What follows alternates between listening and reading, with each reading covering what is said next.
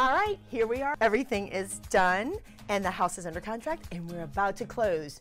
So before we take everything out of here, let me show you what we did. Here we are inside. So excited to show this to you. So behind me, I don't know if you remember, but it was so stark.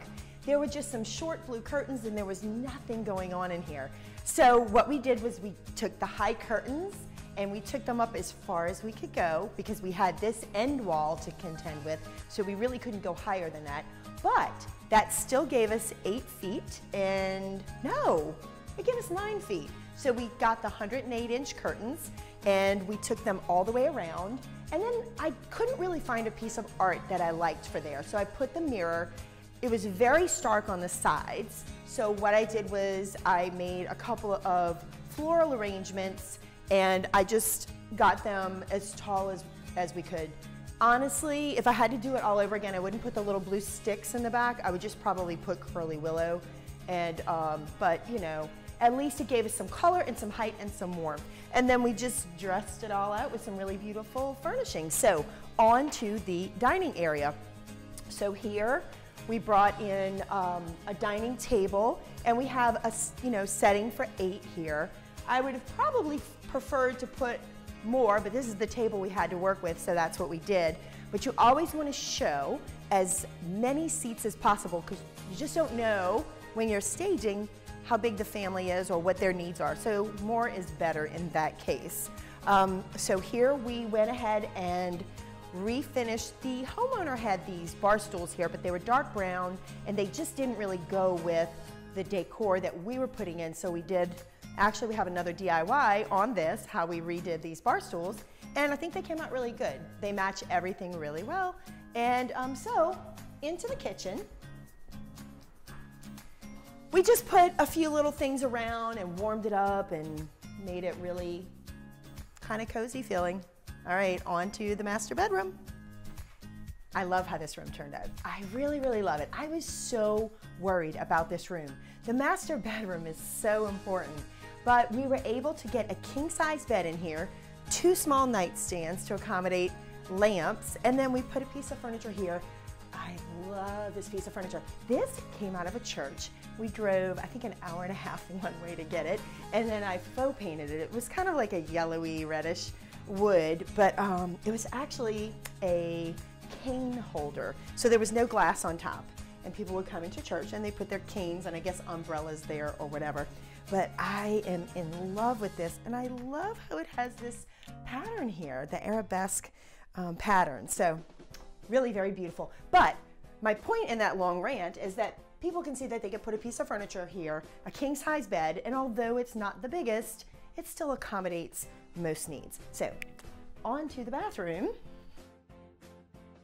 So again, we have the Jack and Jill situation here, which is not ideal, but again, we did okay because the house is so fantastic. So we just made it super cute. We just decorated it and um, made it adorable and it worked. So this is the Jack and Jill part with the tub. We have the blue tub here. So again, not ideal, but we put the pretty curtain. We did a, there's eight foot ceilings here. So we did a 96 inch, just a regular curtain with a tension rod.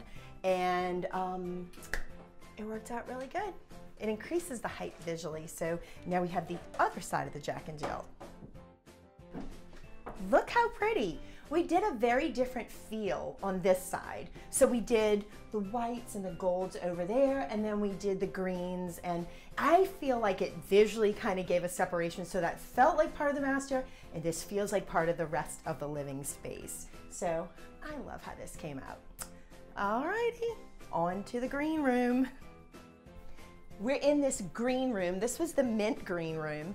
And um, I love how it turned out. We've got the single bed here. I've actually got the king comforter on here. I love it. We used the white and we actually used the mint green color to our advantage because we just brought in some decor that accentuated that color and made it look really, really nice. So I think it's very soft and the single bed in here turned on the side like a day bed gives it the um, illusion of actually more space probably than what's in here. So we allocated the space well, I think.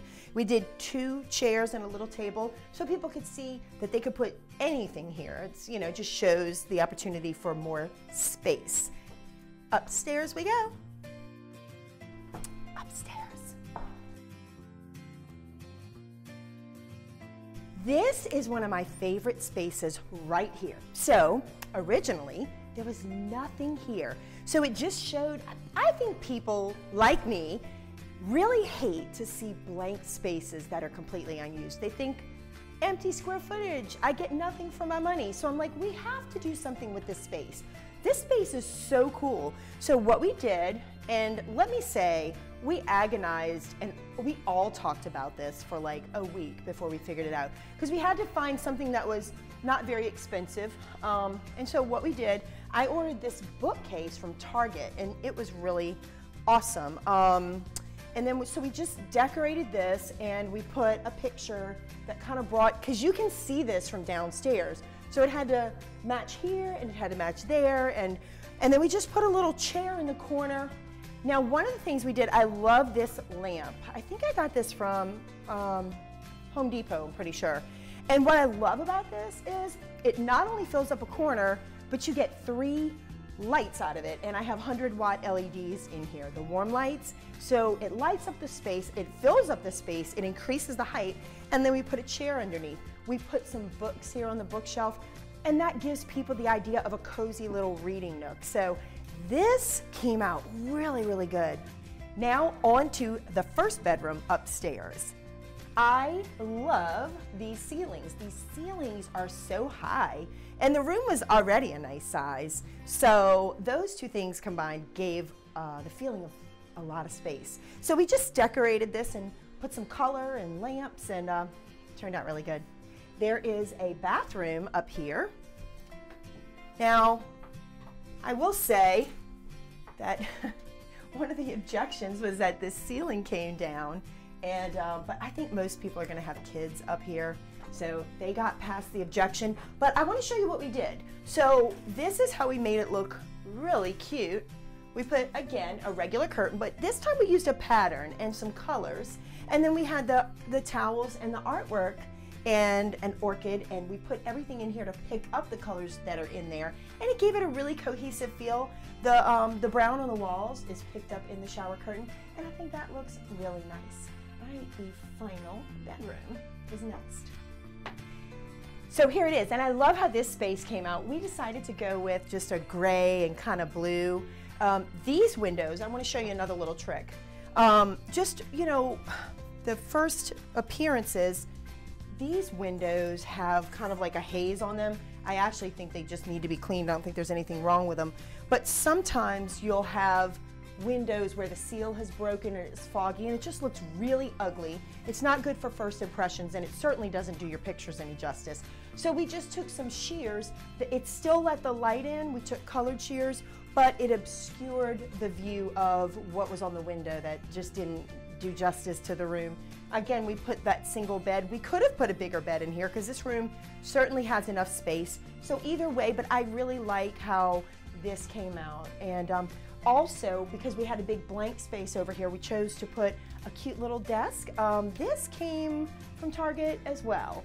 And um, just put a little mirror up there and it kind of gives the illusion of like a window.